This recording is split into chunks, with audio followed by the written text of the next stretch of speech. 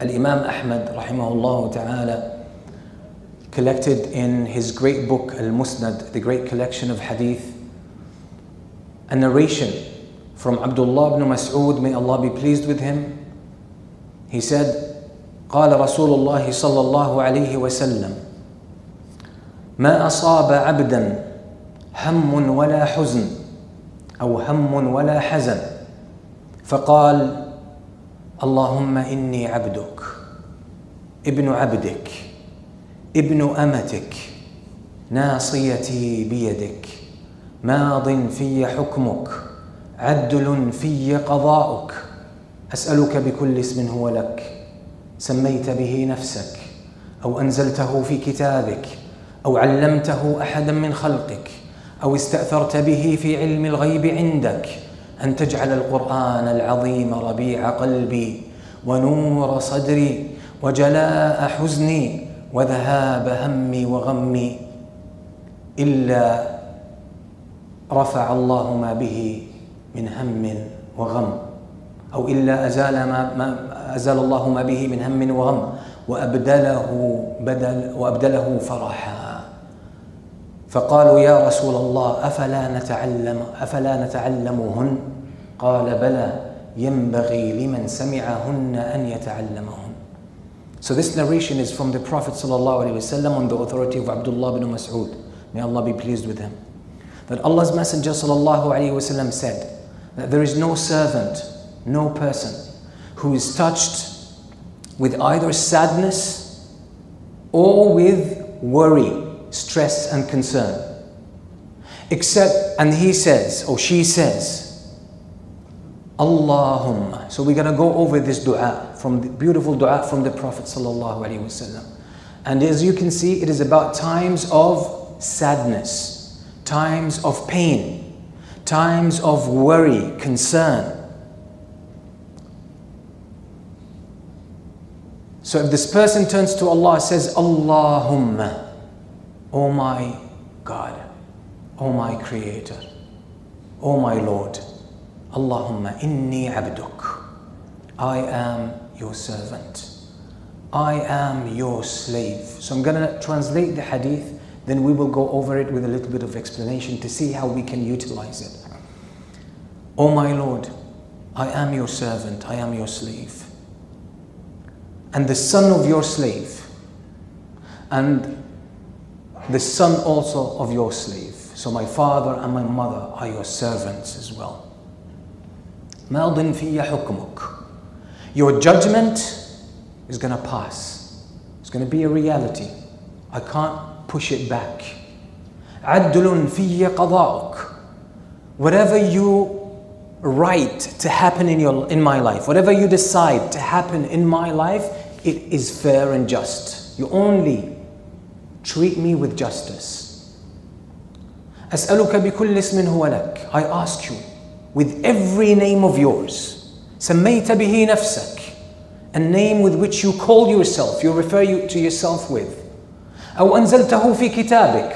Or a name that you sent down in your book, in your revelation. أو علمته أحدا من خلقك. Or a name that you taught to any of your creation. أو استأثرت به في علم الغيب عندك or you kept this knowledge or the knowledge of this name to yourself أن تجعل القرآن العظيم ربيع قلبي that you make the great glorious Quran as rain showers for my heart ونور صدري and the light and the enlightenment and my stress إلا أبدل الله حزنه فرحا If a person says this, Allah would remove, Allah will remove. Allah will replace the sadness and the worry with joy and happiness. So the companion said, O Messenger of Allah, shall we not learn these words? The Prophet ﷺ said, everyone who hears these words should learn them. So let's go over this dua. And it's not just words that we say, it's a way of life. It's a very profound hadith. It's a state that we get ourselves in. Allahumma. So first we call upon Allah, oh Allah, you are my Lord. You are the only one that I worship. You are the one that I, that I give my ultimate love to. My devotion belongs to you. You are the only one who deserves this. My Lord, there's a connection. Allahumma anta rabbi. You are my Lord. You are in charge of me. You are in charge of my affairs. You are my originator. I came from you. You created me. You brought me into existence. I belong to you. You are my Lord. You are my master. So here you define Allah subhanahu wa ta'ala. That's the first definition. The second definition, Allahumma la ilaha illa ant. Allahumma anta rabbi la ilaha illa ant. No one deserves to be worshipped. No one has the right to devotion an ultimate love except you. خلقتني, you created me, you originated me, you brought me into existence with a purpose. وأنا عبدك, I am your servant. I am your slave, I'm your property, I am yours, I belong to you. So here you define yourself. These are the foundational definitions of life who Allah is and who you are. And then the relationship between you and Allah. I am your servant. I am yours. I don't even belong to myself. I belong to you. I don't even own myself. I came from you. You originated me. I don't have a necessary existence. I don't have an intrinsic existence. You brought me into existence. And thus I am yours. خلقتني وأنا عبدك. I am your property and I am at your service and I am obedient to you. You are the master, I am the slave, I am the servant. You decide and you say, and I obey. That's who I am and that's who you are. That's the nature of the relationship. So you put yourself where you belong and you give to Allah subhanahu wa ta'ala what He deserves. Ibn Abdik. It's not that I, it's not only that I am your slave and servant, but I am the son of your slave and my father, my ancestors. And this includes all of your ancestors till Adam alayhi salam. All of us are the servants of Allah. Ibn Amatik, and my mother as well, is your servant. This is a definition of all of us, including the sources through which I came into this existence, my parents, and their parents, and their parents, and so on. ناصيتي بيدك My affairs are in your hand, are under your control. When you decide something, it happens. When you write something upon me, it takes place. And this is there's also a pledge here that wherever you whatever you decide, I will follow. I will obey. I am here to fulfill whatever you want from me. ناصيتي بيدك. I'm going to follow everything. ماض في حكمك. Your judgment is going to come to pass when it comes with when it comes to me, to my life. So this has to do with the qadar of Allah. Whatever Allah subhanahu wa ta'ala wrote down in the preserved, preserved tablet is going to take place. No one can push that back. So here you are acknowledging the might and the power of Allah.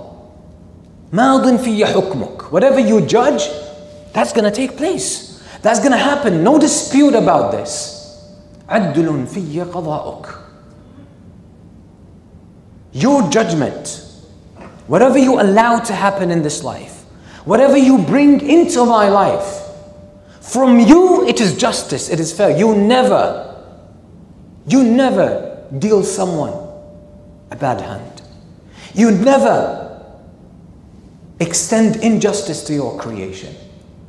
So, this is a recognition of what is coming to you from Allah. First, you recognize who Allah is and you define that clearly for yourself. Then you define who you are clearly and then you define the relationship between you and Allah and what is the communication from Allah to you. And you acknowledge that since Allah is the Master, the Rabb, the Lord, that whatever He judges happens. And whatever comes from Him is good and is fair and just. عدل في قضاؤك.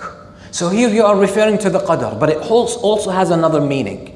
Your qada in terms of legislation, because that's another qada from Allah. When Allah subhanahu wa ta'ala says, do or don't, halal and haram, the principles, the beautiful principles of Islam, of justice, mercy, of compassion, of truth,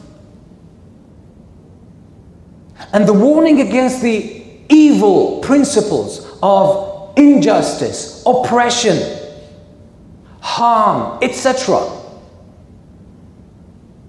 All of that is fair from Allah subhanahu wa ta'ala. Allah only commands that, that, that which is good.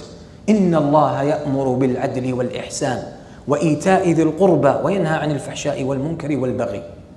Indeed, Allah commands only that which is just and fair and al-ihsan which is greater than justice which is actually going the extra mile with doing good excellence وإيتاء ذي القربى being kind to those who are related to you وَيَنْهَى عَنِ الْفَحْشَاءِ وَالْمُنْكَرِ Allah warns against lewdness and evil acts, despicable acts. That's what, that's what comes from Allah. Enjoining the good, forbidding the evil. Although Allah Himself, He is the one who defines good because good does not have any independent existence apart from Allah. Good is from Allah. Good is the definition of Allah Himself in Allah Tayyib. And everything that comes from Allah is good, and everything about Allah is good. That's what, that's what, this is what the definition of good is. So we say, Adlun fiyya qada'uk. Whatever you command is fair and just and is beautiful. This is not a compliment. This is not just a, an empty praise. This is an acknowledgement of a, of a truth. أسألك بكل اسم هو لك. I ask you by every name of yours. And Allah has many beautiful names. They're not only 99. The hadith of the Prophet ﷺ that says, إِنَّ لِلَّهِ تِسْعَةً وَتِسْعِينَ اسْمًا مِئَةً إِلَّا وَاحِدًا for Allah there are 99 names, 100 minus 1. And then the hadith continues in a Tirmidhi. This hadith does not limit the names and attributes of Allah to 99, but it, it it refers to specific 99 names of those of Allah. Allah has more names because Allah is complete and perfect and His names describe and denote His beauty and His perfection. So I ask you by every name of yours that you have given to yourself or that have used to refer to yourself or that you have sent down in revelation or that you have taught to any specific servant of your creation. Or that you have even kept to yourself. I ask you by all of your names to make the Quran Rabi'a qalbi. Rabi' Rabi' in the Arabic language, the original meaning is rain. We use it to describe spring, but the meaning is rain. The Quran is rain, is hydration, is life for the heart. So you're asking Allah subhanahu wa ta'ala to allow the Quran to occupy its place in your life, which is bringing life to your heart, awakening the heart. Because the heart without connection to Allah is dead. And you can live physically with a dead spirit, with a dead spiritual heart. So you're asking Allah to make the Quran the source of life for your heart. Rabi'a qalbi wa noora sadri. And the light, the illumination in my chest. وَجَلَاءَ حُزْنِي And the washing, the rinsing away of my sadness and the removal of my stress and my agony. And then Allah would answer this dua. Now, this is not, as, as we said, is, these are not just empty words. There, is, there, are, there are facts and truths behind this.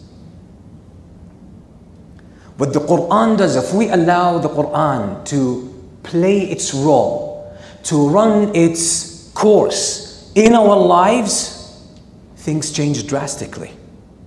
Because what the Quran does, it gives two things. You wake up from the slumber of everyday life.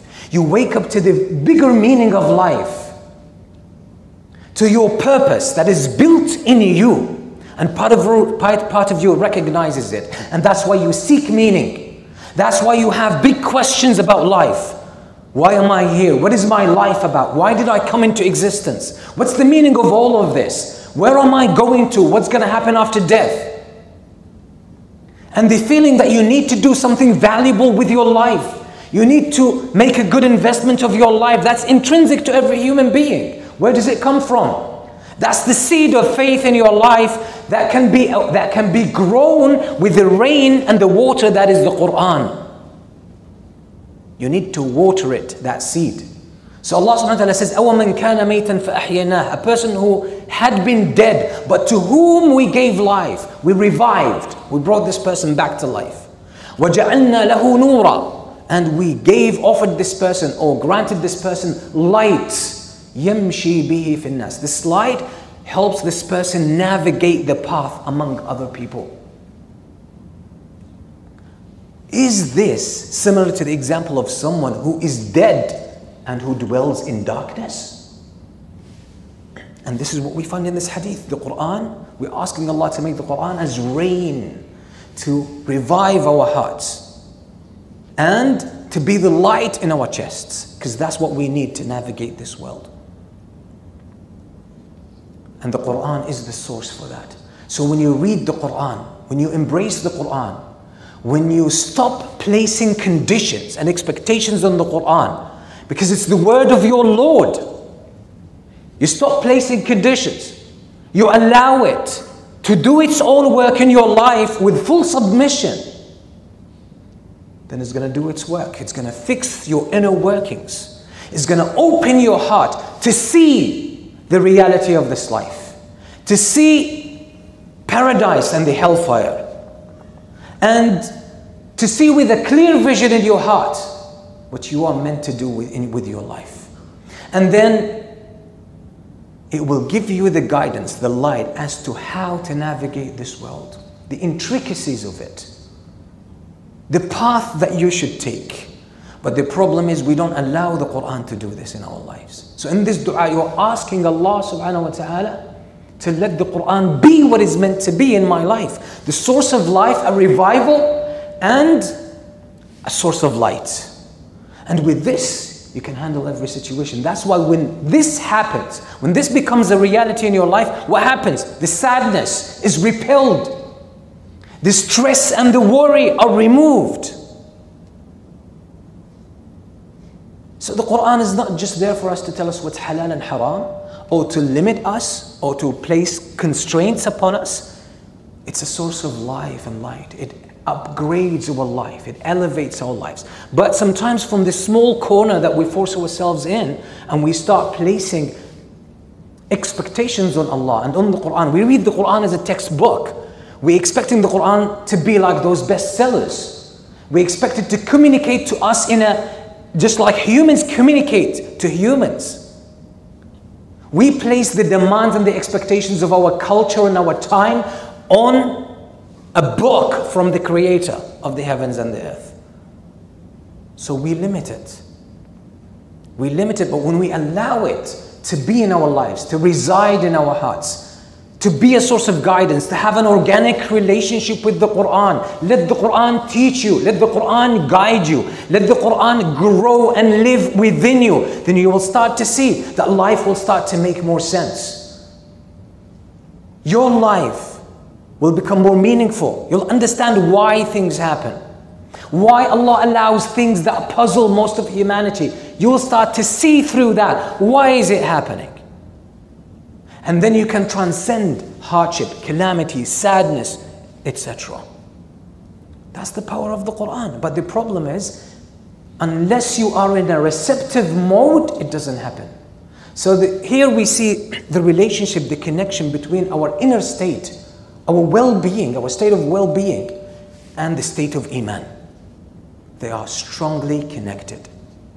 They're strongly connected. And there's a strong connection between being a good person and being a healthy person in every sense and being a true Muslim.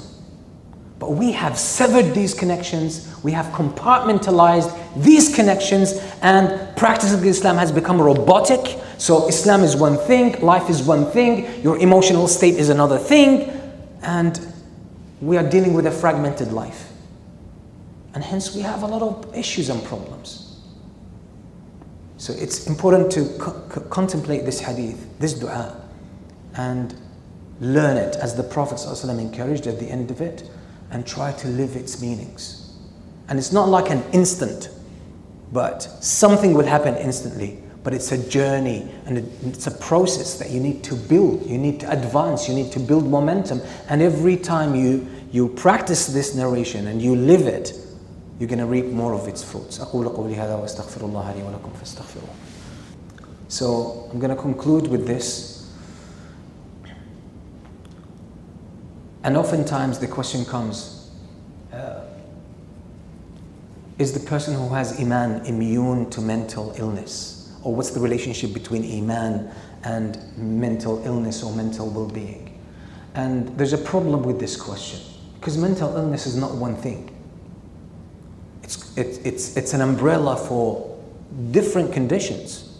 Some mental illness is a matter of physiology, neurology, so there is some kind of a birth defect in the brain, or maybe there's an injury in the brain, and it causes something. It causes some sort of a condition. That's different. That's just when someone is born, for example, without a, without a limb, without a hand, without an arm. You can't say, oh, this person becomes a good Muslim, they're going to grow an arm. The same thing applies to this kind of uh, psychological conditions that are a result of neurology.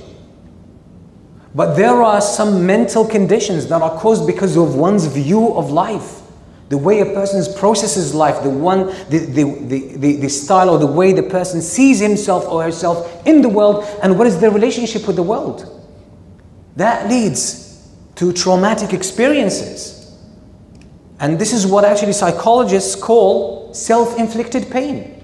Sometimes our expectations make us miserable. It's not the experience, but it's our expectations. So again, it's important to understand that we can, you cannot answer a question like this because it's a, too generic. Too generic. But is there a relationship between our emotional, psychological well-being and iman? Absolutely. Absolutely. Iman changes your view on the world. It restores the true and accurate vision. And it brings life into your heart. And a lot of pain in the human experience comes from the fact that the hearts are dead, that we nourish the body. We try to nourish our minds and our heads, but we forget our hearts. And we insist that we can treat that either with medication or we can treat it with just some kind of, of therapy. But we are forgetting that our essence is spiritual and there is a need for the soul to be revived, to be nourished, to be given the necessary nutrients. And without having, without developing that balance, we would definitely suffer. And Allah promised in the Quran, من عمل صالحا من ذكر أو أنثى وهو مؤمن فلنحيينه حياة طيبة. Whoever does righteousness and goodness in this life, when they are in a state of belief, when they truly believe in Allah, then we shall give them a goodly life. We shall give them a goodly life. And if we reflect on the lives of the prophets, peace be upon them, and the righteous people, you can see some of them went through excruciating challenges. And they had pain and they suffered from sadness. These are normal human emotions. Negative emotions are very healthy and necessary. But they did not lose balance. They experienced sadness, but they experienced hope at the same time. They went through pain and worry, but they had trust in Allah at the same time. So they had a rich emotional and psychological repertoire just because they tapped into more depth into their being. So it's important to learn this hadith. It's narrated by Imam Ahmad from Abdullah bin Mas'ud. I encourage everyone to learn it. You can look it up inshallah on Google. And I recommend that you learn it every time you go through some hard times. Call upon Allah subhanahu wa ta'ala using this dua. And have unconditional trust in Allah. And you will see how Allah subhanahu wa ta'ala will deliver you. Uh, as I conclude, there is an organization, uh, I don't want to pronounce them wrong, but they are collecting uh, funds for a lot of the civilians in Afghanistan who've lost their home, who are going through, again, you know what the conditions are. People lost their home, people lost their families, and there are people in dire need. So they are collecting these funds that are going to go to these civilians. So please support them with everything you can. And whoever delivers a believer when they are in dire need, Allah subhanahu wa ta'ala will deliver them from uh, the uh, from the hard moments on the day of judgment. So we ask Allah subhanahu wa ta'ala to accept from all of us. اللهم اغفر للمؤمنين والمؤمنات